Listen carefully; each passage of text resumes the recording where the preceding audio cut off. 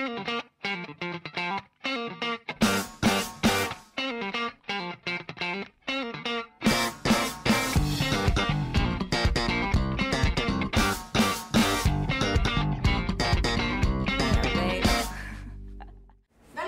til Kulturrom, et rom for kultur. På programmet her så snakker vi om alt som berører kulturen i Trondheim. Og i dag så skal vi ha en gjest, en hyggelig dame som har starta sin egen bedrift med kunst og kreativitet. Velkommen, Ingrid Olava. Har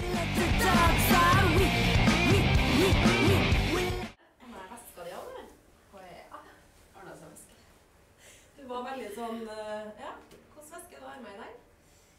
Du, um, det her er jo merch. eh, da. Kjempekul. Mm. Du, vet du, først og fremst da Du kommer fra jobb. Mm. Det er mørkt ut. Det er kveld. Hvilke følelser hadde du da du kom hit i dag? Ja, da var jeg litt spent. Jeg var litt stressa. Jeg var litt sen ut. Ja, men det går bra. Eh, veldig fint. Eh, altså Art hotell her, da, har jeg jo vært en del. Du har vært her før, ja? Og på baksida av veggen her så har jeg vært med og panelert Faktisk. veggen. Så du har liksom har- satt spor, du, i det Ja, jeg har jo vært en del nedpå her, så jeg syns jo det er en kjempefin, kjempefin eh, arena. Eh, Det er litt artig, for før du kom, så Mm. sa kameramannen Snorre Mm. at du er Hun nye Olava, ja, hun er ei knallhard dame. Det skjer. jeg Hører meg det- altså. Hører ofte. Eh, nei, Er du ei sterk dame? Det er liksom ikke det jeg tenker sjøl, nei. Eh, langt derifra. Eh, men eh, Nei, altså inni meg så er jeg jo ikke det. Eh, men sånn jeg har jo jobba mye med Altså, jobba med Altså, han sier jo det sikkert fordi at jeg jobba som bartender og vært streng og kanskje nekta han servering. Det kan være! Der, vet du. Men, eh, og, og noen tenker kanskje det fordi at jeg jobba ganske mange år som steinlegger Ja. i byen, og at det er litt sånn knallhardt. Mannejobb, liksom. Eller Ja. Jeg syns det er veldig kult da, at eh, Ja, der trives jeg veldig godt, altså. Hva har du egentlig gjort tidligere? Hva har du jobba med? Nei, jeg har jo jobba mye i bar her i byen. Du har det, ja. Så du har eh, kjennskap til den kulturen, tenkte jeg å si. Mm. Utelivsbransjen. Ja, og ergo på en måte har ja, møtt det meste av folk i byen, da, sant? Ja. Har en eh, stor bekjentskapskrets. Mm. Eh, og så ja, jobba som anleggspartner da, i, i noen år i Ja. to forskjellige bedrifter. Da. Så ja, for snart seks år siden så begynte jeg som rammemaker. Og det er det vi skal inn på nå. Ja. For du har jo starta noe eget. Ennå. Og det er jo kjempebra. Ja. Kan du fortelle litt om eh, bedriften? Eh, ram. Ram er det, vet du. Eh, eh, I årsskiftet nå 2015, da, så Så slutta jeg i den eh, bedriften som jeg jobba i, da. Det var litt omlegging og forskjellig. Mm.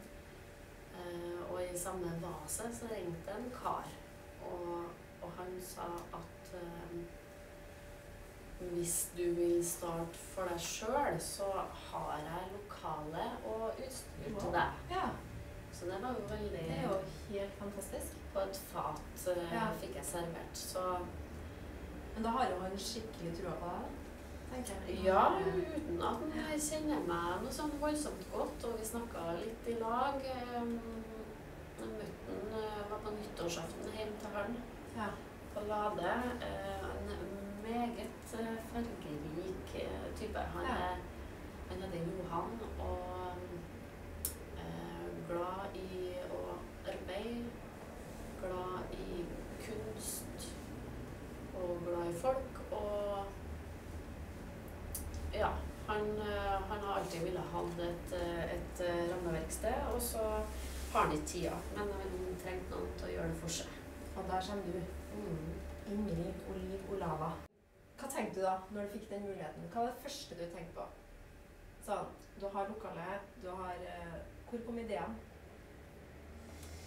Ja, men da hadde jeg jo jobba i, i um, nesten fem år, sant. Eh, Og, og, og kjente jo faget og hadde jo tanker om hvordan jeg hadde lyst til å gjøre det. Mm.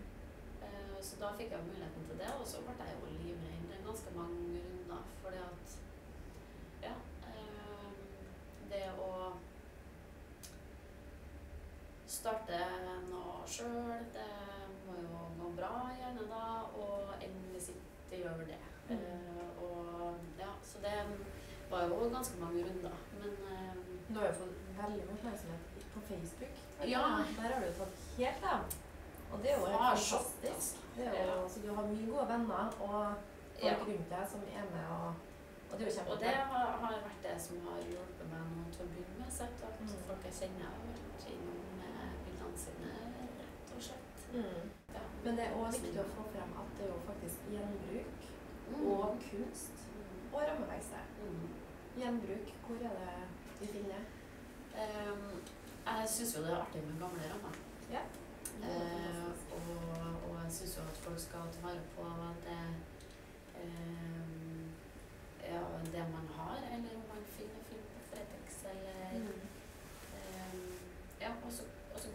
går bruker så igjen det. Så jeg kan dra på Fretex nå, finne meg i ramme, Mm. ha bilder og alt er klart. Så kommer jeg til deg, så fikser jeg. Mm. Kan vi få komme og se en dag? Veldig gjerne. Ja, jeg- ja. Og så kan vi egentlig gå over på den Vi kan gå tilbake til den veska her. For Den var jo veldig fancy. Er det her noe du har laga? Du, eh, jeg har ikke laga noe av det, eh, sånn sett. Eh, Designet, logoen. Eh, er det min store kjærlighet Per, vet du, som har laga. Yes, Ja. Så han har laga logo til meg. Veldig heldig. Eh, Supert. mm, og så um, Den er jo fantastisk kul. mm, Jeg er veldig fornøyd. Og den her får du kjøpt på butikken. Eh, Katrine, vår eh, altmuligdame, har stelt i stand litt kos av seg. Vi tenkte Ser at du var litt sulten. Ja, Du kommer jo rett fra jobb. Ja, jeg gjør det. Men før vi skal smake på den eh, deilige osten, Mm. så har jo jeg vært inne på Facebooken din. Å ja! Og så trengte jeg liksom Jeg trengte noe mer. Så jeg Ja. på Så jeg spurte litt, da. Eh, En god venninne av deg, Hanne Solheim, spurte jeg hun kan jo være snill å komme med et eller annet som kan sette ut av Ingrid. Please do. Og nå, nå er jeg spent. Hva tror du det er? Hva kan det være? Nei, vet du, det Ja, det, det, det kan ikke jeg ha noe formening Har du ikke ganske mye Kjenner jeg blir stressa. Ja, blir det det? Hun skrev at det var et veldig vanskelig spørsmål. Mm, ja, det vil jeg tro hun syns, ja. Eh, men det hun kunne si, da Ja, nå føler jeg det. Var at hun er mektig imponert over det du har fått til. Mm. Og hun beundrer deg og beundrer stå-på-viljen din og kunnskapen du har. Og hun er ikke overraska. Du har alltid bein i nesa, og du når alltid de målene du setter. Du er bare verdens beste venninne. Ingrid Love. Det var det jeg sa. Og det var jo bare helt nydelig.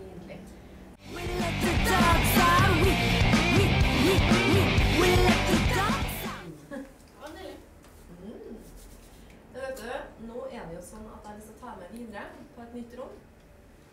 Soverommet. Har du vært der før?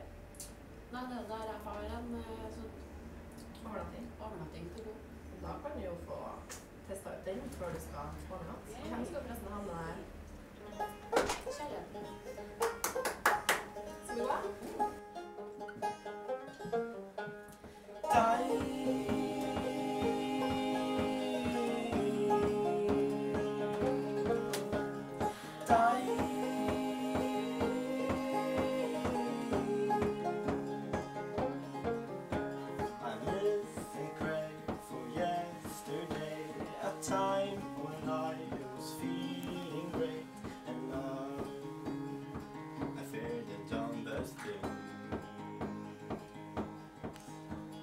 back and forth Am I moving too slow? Do I sleep too much? Reminds you